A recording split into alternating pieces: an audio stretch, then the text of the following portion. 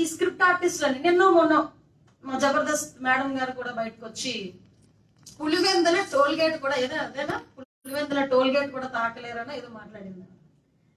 అమ్మా ఒక్కసారి మన గ్రాడ్యుయేట్ ఎలక్షన్స్లో పులివెందల కాన్స్టిట్యున్సీలో టీడీపీకే నోట్లు పడినాయి వైసీపీకే నోట్లు పడి ఒకసారి లెక్కలు తెప్పించు.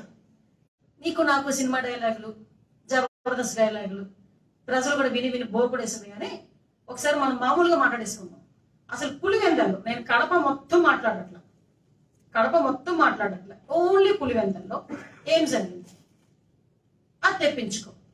ఇప్పుడు పులివెందల టోల్ గేట్ ముట్టుకోవాలా? పులివెందల్లో ఉన్న మీ పిల్లిగాడి గేట్ ఇంటి గేట్ ముట్టుకోవాలా అన్న కాన్సెప్ట్లో జనాలు లేరు. ఆంధ్రప్రదేశ్లో పులివెందలైనా తాడేపల్లి కొంప దగ్గర ఉన్న బ్యాలెట్ బాక్స్ దగ్గరైనా ఎక్కడైనా బ్యాలెట్ను పుట్టుకోవడానికి రెడీగా ఉన్నారు. మీకు బ్యాలెట్తో సమాధానం చెప్పడానికి రెడీగా ఉన్నారు ఇక మాకు టోల్ గేట్లు ఎందుకు? నీ ఇంటి గేట్ ఎందుకు? మాకు మాకేంటి అవసరం? డైరెక్ట్గా ఈ రోజు ఎలక్షన్స్లో బ్యాలెట్ని టచ్ చేసి మీకు ఏ రకంగా బుద్ధి చెప్పాలన్న దాని మీద ప్రజలు చాలా క్లియర్గా క్లారిటీగా ఉన్నారు. దాని గురించి మాట్లాడుకుందాం. అంతే తప్పించి ఈ రోజు ఏదో ఫ్రస్ట్రేషన్లో బయటకు వచ్చి నోటుకు వచ్చినట్టు మాట్లాడుకోవడం. అది కొంచెం అందరికీ ఇబ్బందిగా ఇబ్బంది అయ్యే పరిస్థితి కనిపిస్తా ఉంది. ఒకటి ఈ నలుగురు ఎమ్మెల్యేలు బయట సస్పెండ్ చేశారు. ఇంకొకటి నాకు ఇప్పటికీ అర్థం కాదు ఏంటంటేనండి నలుగురు ఎమ్మెల్యేలు సస్పెండ్ చేశారు. వాళ్ళు తప్పు చేశారో లేదో తెలియదు ఏం మాట్లాడో తెలియదు. మరి ఇంతవరకు రోజు ప్రెస్ ముందుకు వచ్చి అమ్మన రోజులు తిడుతూ డైరెక్ట్గా జగన్మోహన్ రెడ్డిని హిట్ ఇస్తున్నారు విగ్రహం కృష్ణరాజు గారిని ఎందుకు సస్పెండ్ చేయలేదు ఇంతవరకు? ఏమో దాని ఆన్సర్ వాళ్ళకే తెలియాలి. నాకైతే తెలియట్లేదు. ఎందుకంటే కృష్ణరాజు గారిని ఇంతవరకు కూడా సస్పెండ్ చేయలేదు. వాట్ ఎవర్ ఇట్ మేబీ ఏం జరిగినా కూడా ఇప్పటి వరకైనా జరిగిన సిచ్యువేషన్స్ని ఆలోచన చేసుకొని ఫర్దర్ ఏం జరగబోతున్న దాని మీద ఆలోచన సరి చూసుకొని బిహేవ్ చేస్తే వైసీపీ వాళ్ళకి మంచిది అందరికీ మంచిది. లే- లేకపోతే ఒకటి మేము మాట్లాడుతున్నాం. మీరు గంజ విపరీతమైన ఈ రోజు ప్రజా వ్యతిరేకత ఏదైతే ఉందో ప్రజా వ్యతిరేకత ఎందుకు వచ్చిందంటే మీరు చేస్తున్న అవినీతి అక్రమాల వల్ల మాత్రమే ప్రజా వ్యతిరేకత వచ్చింది. ఈరోజు మీకు ఒక విషయం చెప్పాలి.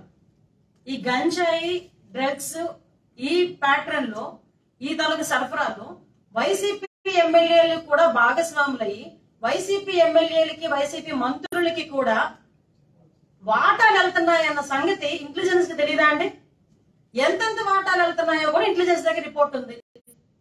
అంటే పరిపాలించాల్సిన మంత్రులు ఎమ్మెల్యేలే ఈ రోజు గంజాయి రవాణాలో వాటాలు తీసుకుంటా ఉంటే మరి యువత ఎందుకు పాడైపోదు? ఆంధ్రప్రదేశ్ క్రెడిబిలిటీ ఎందుకు పోదు? ఈ రోజు ప్రజలందరూ కూడా దాని గురించి కూడా అర్థం చేసుకోవాలి ఆలోచన చేసుకోవాలి.